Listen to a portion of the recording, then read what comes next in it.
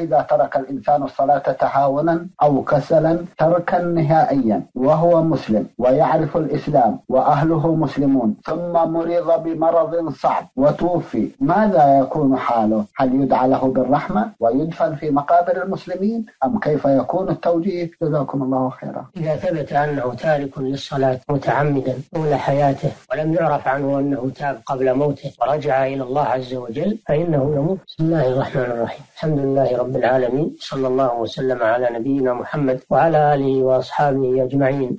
أما بعد فإن أمر الصلاة عظيم ومكانها عند الله كبير وهي عمود الإسلام وهي الركن الثاني من أركان الإسلام بعد الشهادتين وهي أول ما يحاسب عنه العبد يوم القيامة من أعماله فإن فإن قبلت قبل سائر عمله وإن ردت رد سائر عمله. ولا حظ في الإسلام لمن ترك الصلاة ولا دين لمن لا صلاة له. ومن أراد أن يعرف قدر الإسلام عنده فلينظر إلى قدر الصلاة عنده. والصلاة كما قال الله تعالى إن الصلاة تنهى عن الفحشاء والمنكر. الصلاة هي عنوان الإسلام. فمن تركها متعمدا لتركها فإنه يكفر بذلك ويخرج من الدين. قوله صلى الله عليه وسلم بين العبد وبين الكفر والشرك ترك الصلاة. وأهل النار إذا سئلوا ما سلككم في سقر قالوا لم نكن من المصلين. هذا أول جواب يجيبون به عن هذا السؤال. فالأمر خطير جدا. فهذا الذي يسأل عنه السائل أنه مضيع للصلاة وأنه مات على ذلك ولم يعرف أنه تاب إلى الله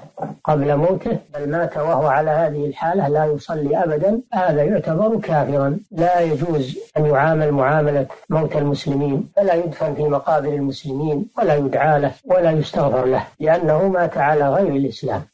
أما إن عرف أنه تاب إلى الله قبل أن تبلغ روحه الغرغرة ورجع إلى الله وندم على ما حصل منه فإنه يعامل معاملة المسلمين لأن التوبة تجب ما قبلها. نعم.